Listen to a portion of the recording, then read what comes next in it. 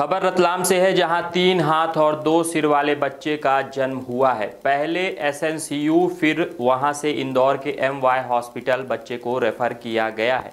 जावरा के नीम चौक निवासी शाहीन पति सोहेल खान ने शाम साढ़े सात बजे बच्चे को जन्म दिया।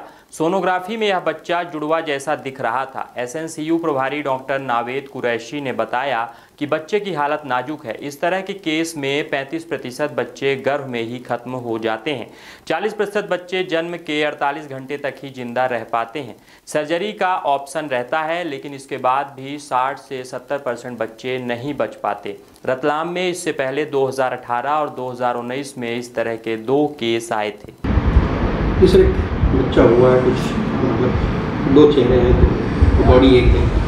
किस कंडीशन में इस तरह के बच्चे जो हैं देखे जाते हैं जन्म के समय और क्या कुछ इनकी स्थिति होती है बच्चे तो ये एक बच्चा हुआ जिसे हम लोग कोजॉइन ट्विंस बोलते हैं, ठीक है? इस बच्चे को जो बच्चा हुआ इसके दो सर हैं, दो पाँव हैं और तीन हाथ हैं। ऐसे बच्चे मुश्किल से डेढ़ से दो लाख में कोई एक बच्चा पैदा होता है जब बच्चे का जब माँ के पेट में जब फर्टिलाइजेशन होता है, जब एग बनता है, उसके बाद अगर कोई मेलफॉर्मेशन होता है तो उसके कारण इस तरह के बच्चे पैदा होने की संभावना रहती है, लेकिन ये बहुत ही ज़्यादा रेयर होता है क्या इसकी कंडीशन के चांसेस? चांसेस देखिए जो डाटा है अवेलेबल उसमें से तो ये बताया जाता है कि 35 परसेंट ऐसे बच्चे गर्भाशय में ख़त्म हो जाते हैं और 40 से 50 परसेंट जो बच्चे रहते हैं वो डे वन डे टू पे ख़त्म हो जाते हैं।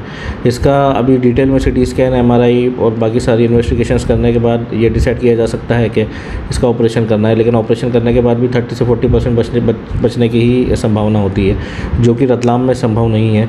तो इसको हम लोग हायर सेंटर पर बच्चे को रेफ़र कर रहे हैं।